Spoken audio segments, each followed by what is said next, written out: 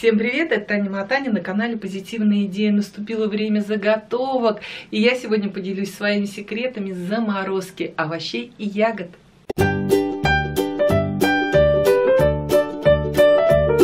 Ягоды я сначала промываю, просушиваю и потом раскладываю на специальном поддоне и замораживаю тонким слоем для того, чтобы они не слиплись. После того, как они замерзли на поддоне, я их э, отделяю, потому что они немножко к нему промораживаются, и уже после этого складываю форму. И когда придет время варить компотики, то вы без проблем возьмете столько ягод, сколько нужно, и ягоды не будут приморожены друг к другу и будут отделяться ягодка к ягодке по отдельности. И такие ягоды удобно добавлять в кашки, в чаи, взять их по отдельности и насыпать себе. Для ягод я использую одноразовые контейнеры, причем я предпочитаю невысокие, потому что этого контейнера я уже знаю, что мне хватает на три компота. Он быстро заканчивается, а высокие контейнеры, что пол контейнера стоит, занимает место. Но тем не менее пакеты для ягод я стараюсь не использовать. Но вот зелень я наоборот замораживаю в пакетах и делаю это следующим образом. Я наполняю пакеты зеленью, потом беру форму, складываю эти пакеты в эту форму и замораживаю. И у меня получаются пакетики такими брикетами. Если просто положить пакет, то он может оказаться бесформенным а мне нужно, чтобы он был определенного размера, чтобы они аккуратненько у меня находились в холодильнике. Они получаются такими брикетиками, я делаю их небольшими, узкими, чтобы мне опять же было удобно пользоваться ими. Зелень я перестала нарезать перед заморозкой и складываю ее целиком. Так она лучше сохраняет свой аромат, потому что когда вы нарезаете, вы выдавливаете из нее сок. Самое сочное уходит у вас в лед в никуда. А когда вы достанете замороженную зелень, ее прям замороженную ледяную отлично нарезать. Суповые заправки я делаю в виде смеси для одного раза. То есть я беру прям одну морковку, одну помидорку, один перчик для того, чтобы взять пакет и полностью высыпать в супчик. Так гораздо удобнее, чем брать по отдельности из одного, из другого, из третьего пакета по чуть-чуть. Раньше я брала пакетик для бутербродов, такие маленькие, и складывала небольшими порциями. Получается маленький один пакет, одна порция. Так удобно замораживать морковку или помидорки. Перца я заготавливаю побольше, я его заготавливаю тоже в виде контейнеров, э, просто нарезаю его. Но я еще замораживаю очищенные перцы, делаю я две порции по 10 штук в пакете и складываю их. Потому что я уже знаю, что за всю зиму я достаю два раза, не больше именно этих перцев замороженных.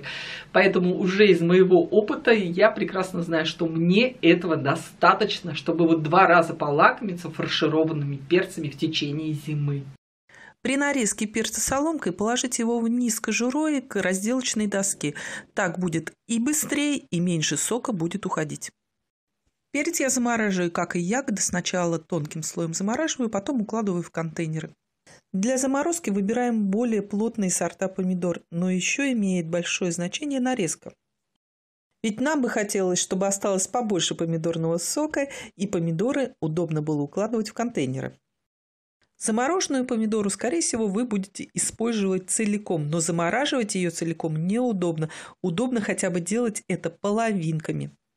Способ нарезки и укладывания для первичной заморозки будет зависеть от того, используете вы, например, пакет или контейнер. Для заморозки в контейнеры я тоже буду использовать поддон, только подстилать в него бумагу для выпечки. Я нарезала и разложила ну, все возможными способами, и сейчас посмотрим, как удобно укладывать. Если заморозить целиком помидору или ее половинку, то в результате их неудобно укладывать в контейнер. Удобнее, когда нарезка произведена полукольцами и выложена с небольшим нахлестом. Все хорошо помещается и удобно складывается. Оставшиеся помидоры будем укладывать в пакеты из зиплок. Для заморозки рекомендую использовать специальные пакеты для заморозки. Потому что простые пакеты после морозилки могут рваться. Девочки, финальная стадия. Смотрите, как что укладывается, когда вы все правильно сделали.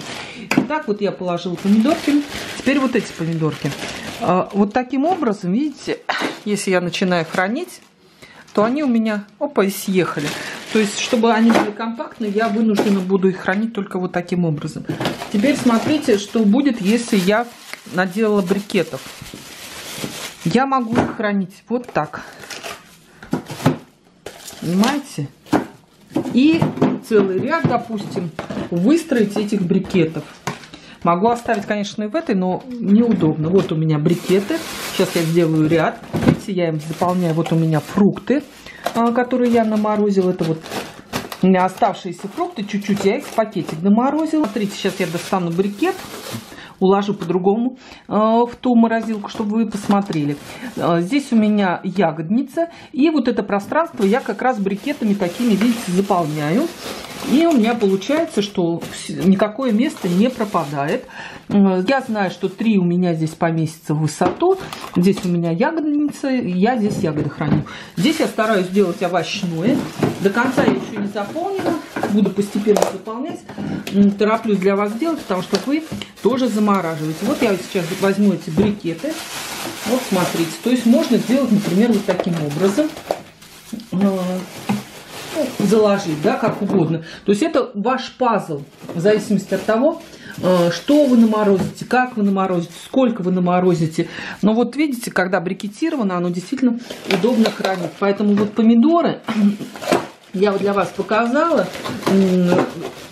как удобно, что лучше использовать, вот пакет или такой, насколько все по-другому рационально можно все это организовать. Конечно, это я перемораживать не буду, но если бы я сделала вот таким образом, брикетом и отламывала, было бы намного удобнее так хранить именно помидоры. Вот они у меня суповой набор, видите, вот один раз я достала помидоры, морковка, перец и забросила в супчик. Все, брикетик готов.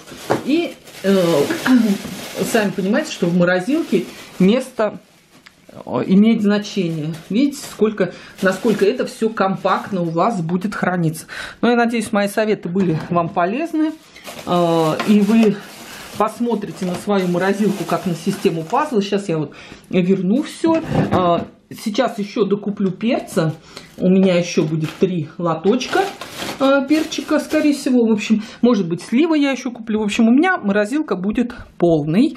А вы тоже заполняйте так, чтобы намного максимально рационально использовать. Вот видите, у меня всего лишь два ящика.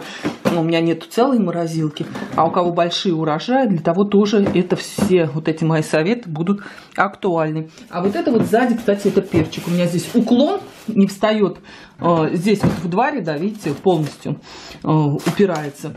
А там у меня уклон, и как раз вот я перчики для фаршировки именно вот сюда укладываю. Я посмотрю, может быть, я еще сделаю для фаршировки это место займу. Зелени уже у меня нету. Посмотрим. Морковки я много не делаю. Это только экстренные случаи. Ну вот, девочки мои, всем пока рационально организовывайте свое пространство. Его всегда не хватает. Пишите в комментариях ваши секреты заготовки и заморозки. Это Таня Матаня на канале Позитивные идеи. Оставайтесь со мной, у меня всегда интересно.